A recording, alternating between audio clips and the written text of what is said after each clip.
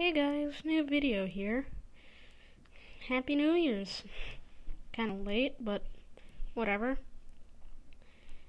I just wanted to show this off. It is a homemade neon display. If you're wondering why the one looks like a backwards L, it's because I designed my own sort of alphabet from, and the one would conflict conflict with the I, so I had to make a slight adjustment.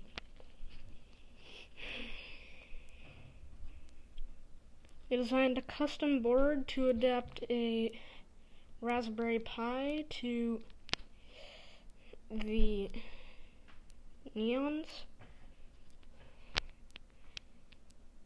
And my dad wrote some code for it. I'm sorry if it's a bit quiet. I couldn't find my good microphone, so I'm using the one on my headphones. And also sorry that I haven't uploaded them sometime. And if you can hear the ridiculously high-pitched and annoying noise from the transformer that we're using to boost the voltage. One, two, three, four, five, six, seven, eight, nine, then it cycles back around into one. Should get them to put zero in there.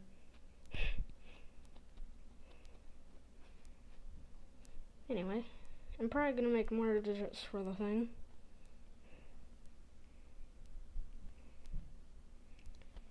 Anyway, thanks for watching, and I hope to see you in the next video.